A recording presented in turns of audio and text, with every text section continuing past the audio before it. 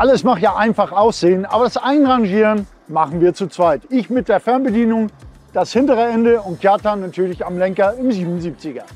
Die Leute von Green Energy behaupten ja, dass wir hier unseren LKW reinkriegen, weil die Ford ja 4 Meter hoch ist. Aber unser LKW ist ja auch 4 Meter. So ich bin gespannt.